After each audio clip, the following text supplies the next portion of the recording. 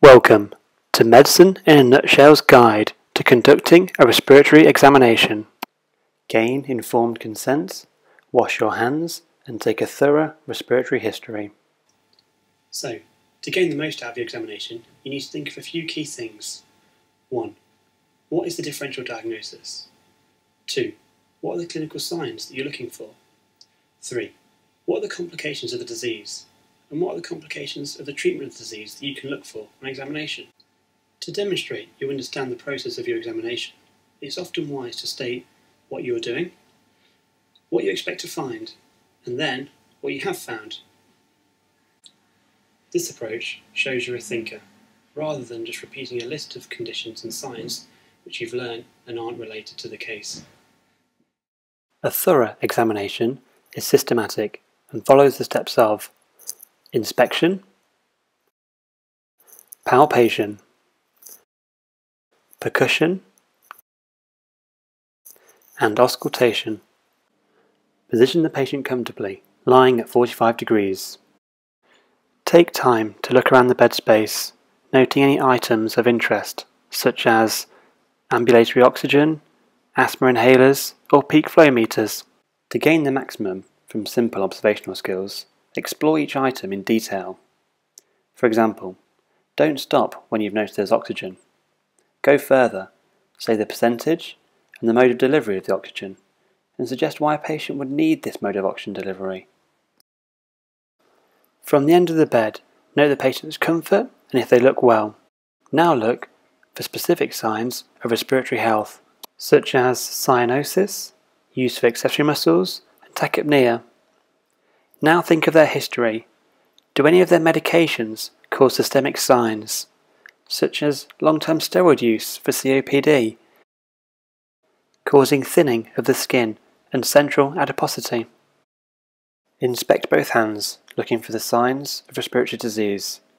Look for tar staining with a history of smoking. Now check for clubbing.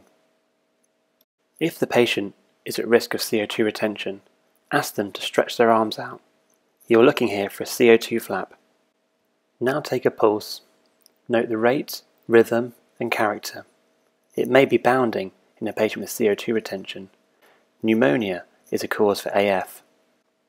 Now count the respiratory rate. Do not tell the patient you're counting this, as they may alter their breathing pattern. You may wish to pretend to take the pulse to avoid an awkward silence. Gently pull down the lower eyelid. Inspect the conjunctiva for anemia. Look for the partial ptosis and miosis of Horner syndrome. Inspect the mouth for signs of central cyanosis.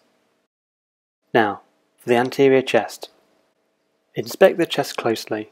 Look for any surgical scars or any signs of respiratory pathology. Think of the history. Are there any conditions which show signs that you'll see on the chest? Ask the patient to take a deep breath. Look for any asymmetrical movement of the chest wall. Palpation. Palpate the apex beat. This may be displaced in cor pulmonale.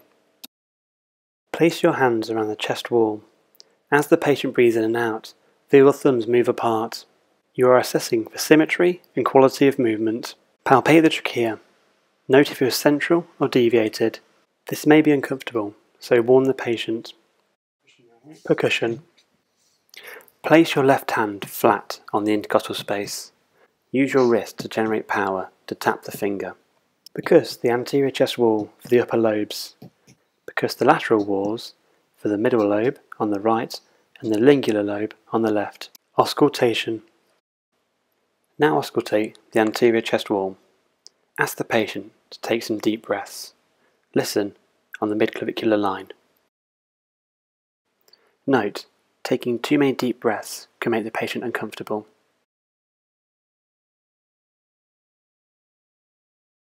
Listen to the lateral chest wall.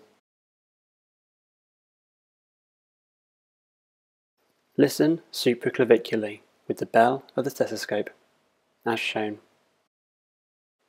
If you hear reduced breath sounds and there is a dull percussion note, you may wish to test vocal fremitus. Place the stethoscope on the chest and ask the patient to say 99. Ask the patient to lean forwards and it's now time to repeat the technique on the posterior chest. Now palpate the lymph nodes. Ask the patient to look up so you can palpate under the chin. Palpate all the groups of lymph nodes.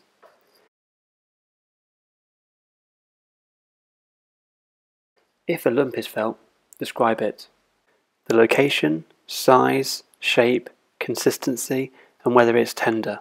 Give your impression of what you feel the lump is. Posterior chest wall expansion. Repeat the technique by gripping the chest. See your thumbs move apart as the patient breathes in. Percussion. Percuss the chest wall, medial to the scapula. Feel for resonance, hyperresonance, or dullness. Now auscultate the posterior chest. Auscultate down to both lung bases. Now try to combine your palpation, percussion, and auscultation findings to understand the underlying pathology. For example, reduced breath sounds could be a number of diagnoses, but with hyperresonance on percussion and a deviated trachea, this is suggestive of pneumothorax. If you detected mediastinal shift or signs of heart failure, check for pedal edema and a raised JVP. Thank the patient and allow them to get dressed. To complete your examination, ask for the bedside observations. You may also consider a peak flow.